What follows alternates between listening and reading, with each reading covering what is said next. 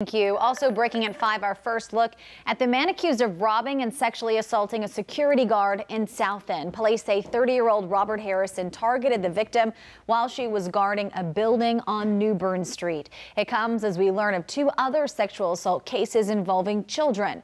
NBC Charlotte's Alex Shabbat following all of those cases tonight. Alex? Well, Sarah, police say DNA evidence linked the suspect to the crime here in South End. That's where the security guard was sexually assaulted in the building behind me, and now police need your help to make an arrest. In this video, it's hard to make out the suspect running and then jumping a fence, but tonight police giving us a clear picture of who they're looking for.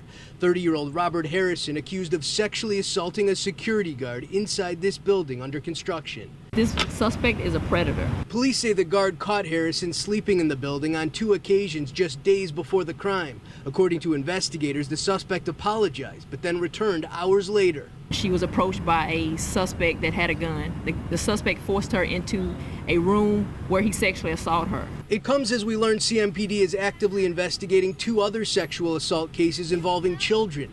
Police say a 12-year-old girl reported being targeted at Mason Wallace Park. A CMPD source telling us she went to play basketball. That's when she reported a man who had been watching her got out of a car and sexually assaulted her. Keisha Jones says she'll be watching her grandchildren closely. Yeah, that's just horrifying. I mean, that's the times, that's the days we're in now, though.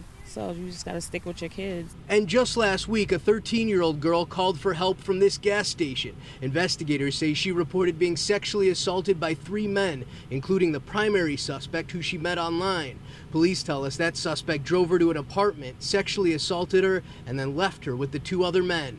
CMPD says none of the cases are related, but those along the light rail on guard while this suspect is on the loose. He's now wanted on charges of rape, kidnapping, and robbery. I always feel very safe, but knowing that, I'm definitely going to start changing my habits.